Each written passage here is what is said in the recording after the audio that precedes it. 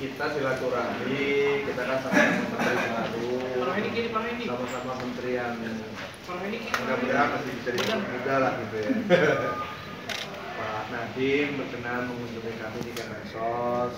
Eh, Kita putar-putar informasi mengenai program di masing-masing kementerian, apa yang menjadi program utama di Kementerian Pendidikan dan Kebudayaan, itu juga apa yang menjadi program utama di Kementerian Sosial, yang tentunya eh, prinsipnya adalah mengikuti arahan dari Presiden bahwa Kabinet Indonesia Maju ini adalah kerja tim. Berulang kali Presiden menyampaikan bahwa kerja tim sehingga apabila kerja secara tim semua persoalan dan permasalahan yang ada bisa diselesaikan dengan baik. Eh, sama sekali seperti sama persis seperti yang dibilang sama Pak Kemensos tadi.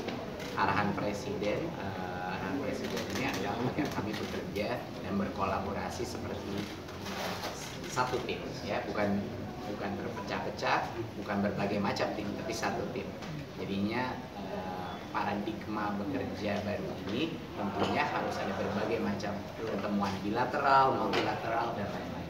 Jadi dari situlah karena banyak sekali overlap di antara kami dari berbagai macam program karena ujung-ujungnya sumber daya manusia ya, yaitu kemiskinan maupun pendidikan itu Termasuk data termasuk data yang akan sangat penting lagi jadi berarti dari situlah kita ingin ini bukan hanya sekali ketemu tapi kita ingin secara berkala kita ketemu sinkronisasi data seperti apa Pak Mas Nadiem?